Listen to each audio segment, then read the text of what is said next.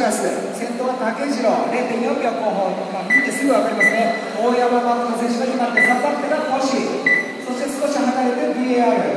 ささらに少し離れてストレート走行しているのがタピオカ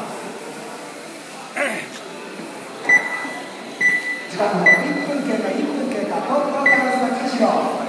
さあタピオカ選手ありがとうございますさあトップの2台がストレートに出てきました。オレンジ色が竹次郎。そしてロックスターのイエローブラックからこれが大山誠選手2番手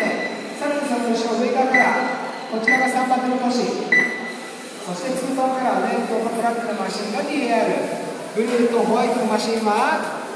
5位のタピオカ選手。